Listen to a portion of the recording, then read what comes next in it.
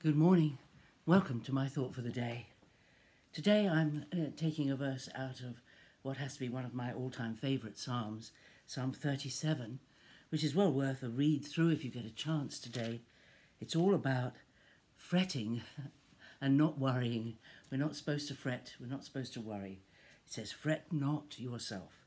But the verses I'm picked out are these, verse 3 and 4, which says, Trust in the Lord and do good, so you will dwell in the land and enjoy security. Take delight in the Lord, and he will give you the desires of your heart. And it's a testimony, really, this morning from me. Those of you who know me and have watched me regularly, you know I'm on holiday this week. I've had a week with my two daughters. And I would say that this week, God has given me the desires of my heart.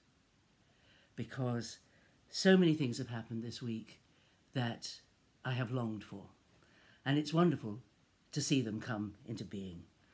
And uh, the adventure we had yesterday was like the icing on the top of the cake. Uh, quite unexpected. We, uh, when we arrived here, we found this place and we decided we'd visit it on our last day. And we did, and we had the most wonderful day yesterday. Um, we didn't know we wanted it, but God knew we wanted it and needed it and gave us such a lovely day. And it's been raining on and off all week. When we looked at the weather forecast before we came, we saw that it would rain most days.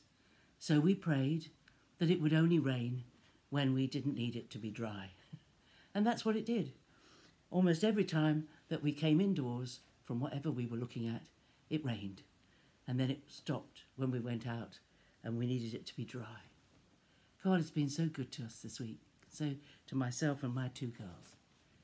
And we have seen some wonderful sights, things, I've seen things that I've longed to see for years and have seen them.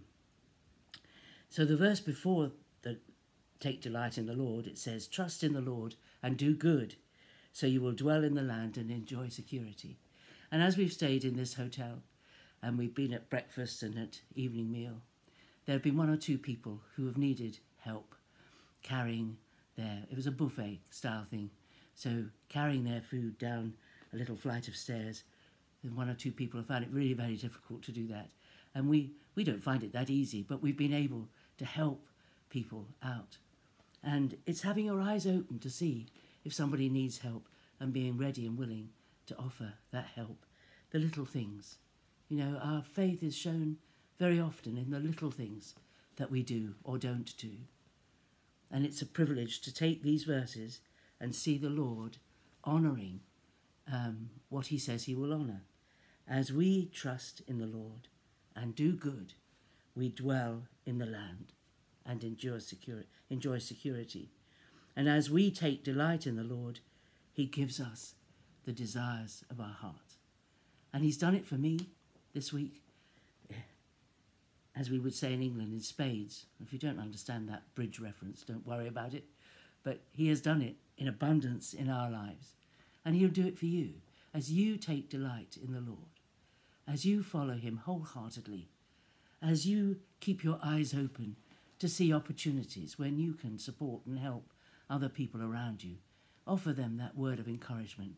Um, see something they need help with and offer the help that they need so the Lord will give you the desires of your heart.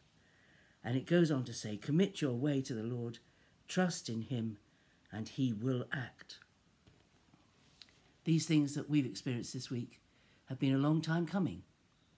This holiday was originally going to happen in 2020 as a celebration of my 70th birthday, but COVID intervened. And so, four years later, that thing that um, we had planned has now happened. And God has been with us, God has kept us, and God has given us um, what we have wanted. So that is Psalm 37, verses 3 to 5. But the whole psalm is well worth a listen. And uh, I'm going home today, trusting the Lord for journeying mercies as I drive and as my daughters drive back to their homes. And we pick up our normal everyday life. I wish you God's blessing for today, and I look forward to seeing you tomorrow. Bye bye.